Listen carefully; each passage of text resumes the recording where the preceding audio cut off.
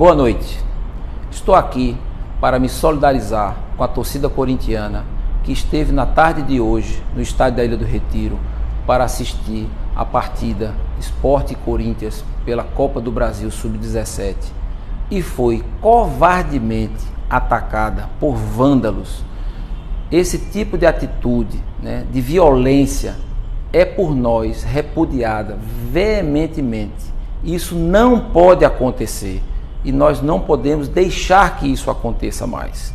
Já pedi para que o nosso jurídico acionasse todos os canais competentes e já nos colocamos à disposição de todas as autoridades policiais para que prestássemos todos os esclarecimentos necessários. Isto não pode mais acontecer. Estamos à disposição de todos.